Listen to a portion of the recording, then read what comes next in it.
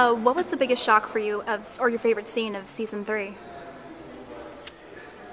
I, I, I couldn't begin to answer. I don't know. I've had a few. I've had a really fun season. I've like, I've had so many episodes that I really have enjoyed. I don't think I could. I don't know. I think I, a scene that I enjoyed most of, it, and this made me cry in my trailer, was, you, uh, was when she was having that baby. Oh, I was serious. really? I've watched three children born, and you Wow. didn't like someone that really knew what it was like.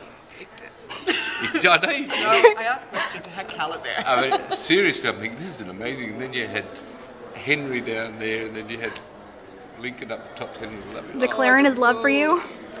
That that kind of got I think fans to Olivia's side at that point. They were like, "Oh my god! At this point, you can't kill her off. Yeah. we love her. Keep her all I around." Yeah. It's amazing. That was exciting to finally go, oh, she's a person now. Good.